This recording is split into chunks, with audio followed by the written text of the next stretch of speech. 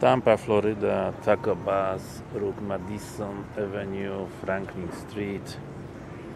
Zamówiliśmy jakieś jedzenie. To jest na razie wstęp.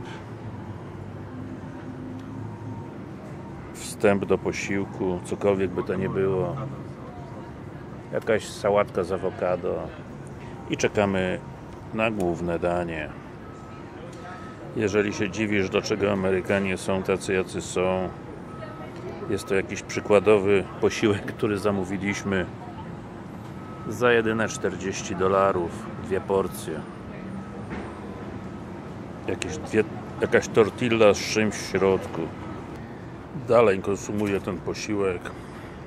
Naprawdę dobry. Jakaś kuchnia meksykańska, dużo kurczaka. Dużo warzyw, ale ogólnie wszystkiego dużo.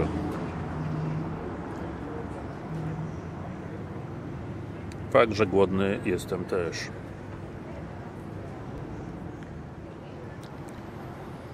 Powoli ten olbrzymi posiłek meksykański znika, ale przyznam uczciwie, że nie jest go łatwo zjeść. Głównie z uwagi na objętość sałatka ok tych chipsów jeszcze nie ruszyłem. To iced tea niesłodzona Franklin Street. Taco Bus i to wszystko.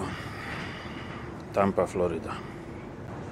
Myślałem, że dam radę zjeść tyle co Amerykanie, ale chyba nie dam rady.